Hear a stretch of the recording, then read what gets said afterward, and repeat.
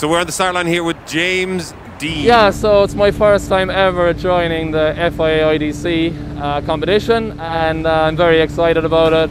It means a lot to me because I guess the FIA are starting to push drifting to a, a new level with new criteria and a lot of different changes. So, um, of course, it's uh, important for me to try my best, try to get a good result.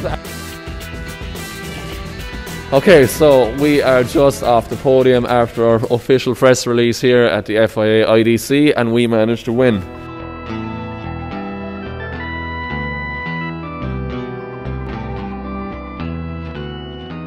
I am so so happy. We worked hard for this.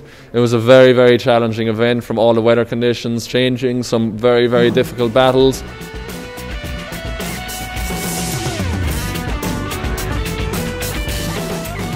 Best drivers from all over, and uh, we come out on top. So that's what we are aiming for. I knew it wasn't going to be easy, but we pulled it off, and I'm just so so grateful to my team, to my family and friends who are also here supporting me, all my family and friends at home, and. Uh, to the fans that are watching and supporting.